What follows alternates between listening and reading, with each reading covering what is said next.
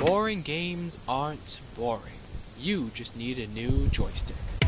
Hello, peeps, and welcome to the Gamer Person Posse. I'm your host, Toad. Well, until Nintendo takes this down, that is. I'm here to dedicate my life to trekking the unknown, playing old games with a new twist to intrigue the vast amount of viewers out there, even though it's usually at my own expense. Oh my gosh, the four in a row!